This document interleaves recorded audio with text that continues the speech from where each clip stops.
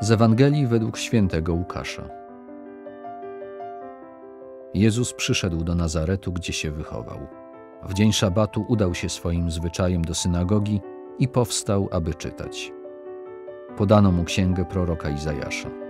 Rozwinąwszy księgę, znalazł miejsce, gdzie było napisane: Duch Pański spoczywa na mnie, ponieważ mnie namaścił i posłał mnie, abym ubogim niósł dobrą nowinę Więźniom głosił wolność, a niewidomym przejrzenie. Abym uciśnionych odsyłał wolnymi, abym obwoływał rok łaski Pana. Zwinąwszy księgę, oddał słudze i usiadł, a oczy wszystkich w synagodze były w niego utkwione. Począł więc mówić do nich: Dziś spełniły się te słowa pisma, które słyszeliście. Wielki Czwartek to początek Triduum Paschalnego, najważniejszego święta w całym roku liturgicznym. Święta, które aż przez trzy dni będziemy przeżywać, sycić się obfitością związaną z Triduum Paschalnym. Tak więc dzisiaj od rana jeszcze mamy Wielki Post, ale już wieczorem zaczynamy to wyjątkowe, największe święto męki, śmierci, zmartwychwstania naszego Pana. Wieczerza Pańska, ustanowienie mszy świętej, które dzisiaj świętujemy, przenosi nas do wieczernika. I co tam się działo?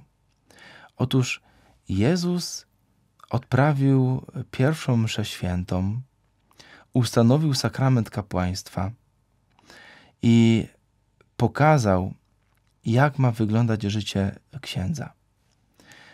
Otóż w wieczerniku Jezus pokazał apostołom dwie rzeczy. Po pierwsze, mówił o tym, że mają się kochać miłością wzajemną. I to będzie bardzo istotne yy, do naszego dzisiejszego zadania.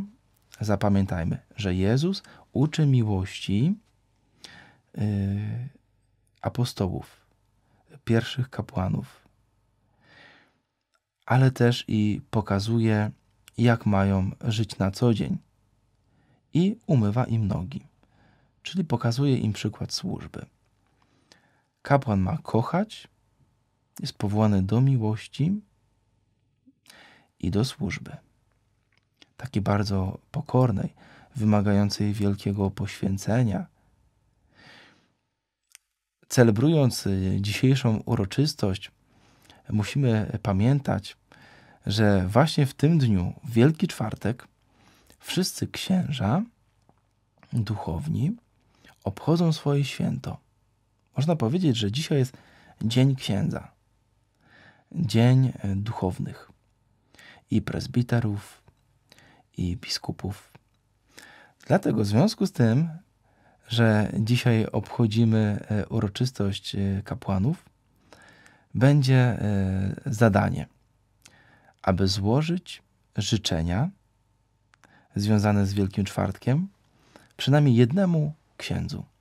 Może to być twój ksiądz proboszcz, ksiądz wikariusz, bądź zaprzyjaźniony z tobą kapłan. Oczywiście jeden to jest minimum, można złożyć y, te życzenia wszystkim, których się ma w kontaktach w telefonie bądź y, w znajomych na Facebooku. Można zadzwonić, można napisać. Ale ważne jest to, aby w tych życzeniach zawrzeć właśnie te dwie istotne rzeczy, których uczył Jezus w wieczerniku y, kapłanów, apostołów. Miłość i służba postarajmy się złożyć życzenia księdzu bądź księżom yy, właśnie pod tym kątem. Życzmy im serca, które kocha każdego człowieka, które kocha Boga, przez co kapłan staje się gorliwy w modlitwie. Życzmy kapłanom, aby byli sługami, aby mieli czas dla każdego człowieka, bogatego i biednego tego, który przychodzi do nas yy, uśmiechnięty, ale też tego, który pojawia się nierzadko na plebanii jako bezdomny, śmierdzący, z problemami, aby kapłani każdemu człowiekowi potrafili usłużyć swoim czasem, radą, pieniędzmi, modlitwą. Tak więc zadaniem na dzisiejszy dzień jest takie: złóż piękne, ewangeliczne życzenia przynajmniej jednemu kapłanowi.